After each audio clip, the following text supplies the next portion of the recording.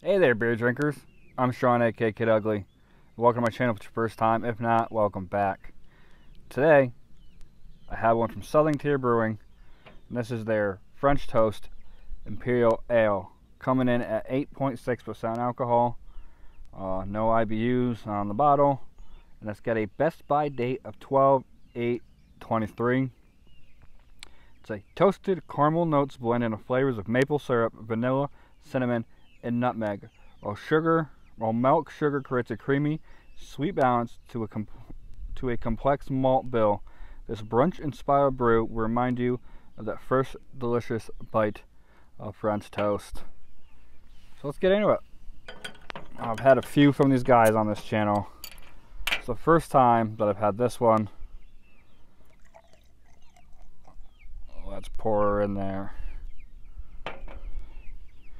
So it pours a dark amber, golden or orangish red with about two fingers of a khaki, roasty kind of looking head, thick bubbles.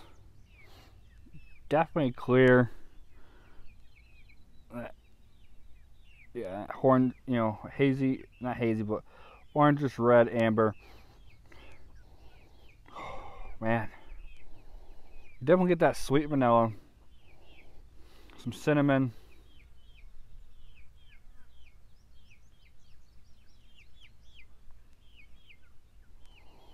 Hints of that nutmeg.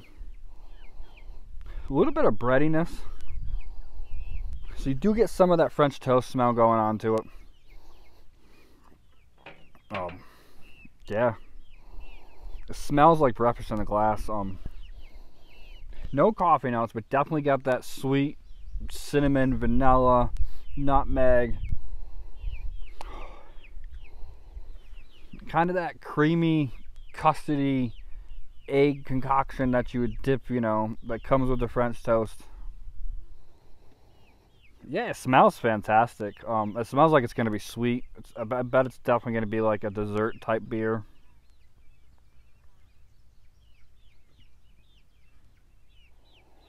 But that seems to be Southern Tier's specialty. Um, I know they had the the Blackwater series that had all the sweet stuff in that. Uh, had quite a few of those back in the day. Definitely get that sweet, sweet, sugary smell. Time to stop beating around the bush and taste her.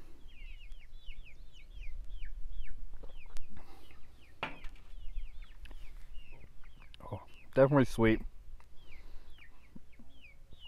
Get some of that cinnamon, a little bit of the nutmeg.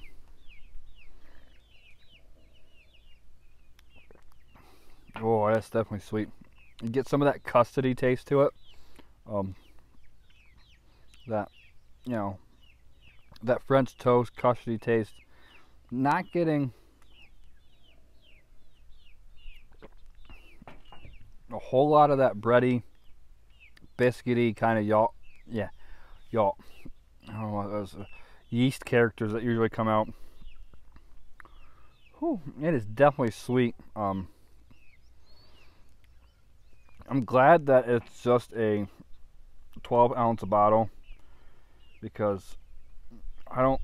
I think I'm gonna have a hard time drinking the rest of this. Honestly, uh, it hasn't been sitting out long.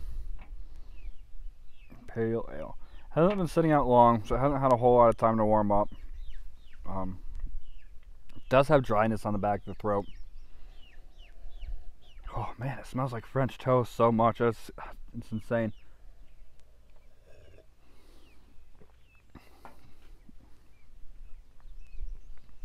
Definitely has some alcohol legs to it. Definitely letting you know that it's 8.6. Like I said, it's got that dryness on the back of the throat. This is definitely more of like a a sipper type of a beer. It's not one that you want to chug right down. In fact, I'm probably going to start taking a little more easy on this one. It, it's definitely not, I keep saying do, it's not made for you to, to, to, drink it right down. Sip on it, enjoy it. And maybe, you know, if you're having French toast for breakfast, if you're having pancakes, if you do it for like dinner, if you have breakfast for dinner, this would be a good one for you to, you know, slowly sip on. Let it warm up some.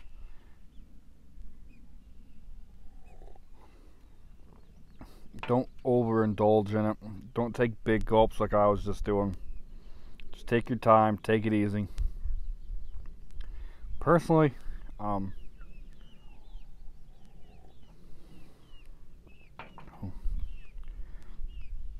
I'm going to go at 3.75. I'm between 3.5 and 3.75. Keep fluctuating because it is good. It is doing what it's supposed to do. Um,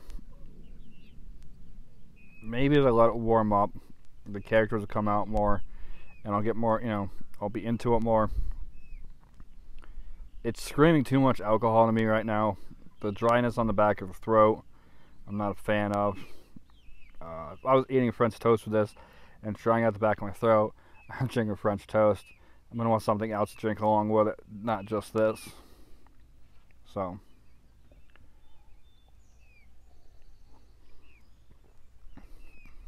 Yeah. I, am gonna go with 3.5. Uh, availability. Southern Tier. I know they have quite a large distro. Um, New York, Pennsylvania, probably Jersey, Maryland. Uh, if you get Southern Tier in your location, I'm not sure if this is still out. Uh, I'm not sure if you're to be able to pick this up on shelves or not. I've been sitting on this for a little bit. Uh, I'm not exactly sure when this came out. So, if you see it and you're interested in it, and it sounds like something you enjoy, you know, pick it up. Um, 8.6, Best by date of December. You could probably let it age some, maybe with some with some age. Uh, maybe some of that alcohol will trace off, and you'll get some more of the flavors. Maybe the flavors will dissipate. I don't, I don't know. It's eight eight six. It's you know should be able to age it for a bit. I'm not sure the price point of it, but yeah, uh, if, you, if you liked what you saw, if you like videos like this, if you want to see other videos like this, hit a like. Um, you can comment, share, subscribe. So keep watching for more. I'll be back with some more. Thank you for watching. Until next time, cheers.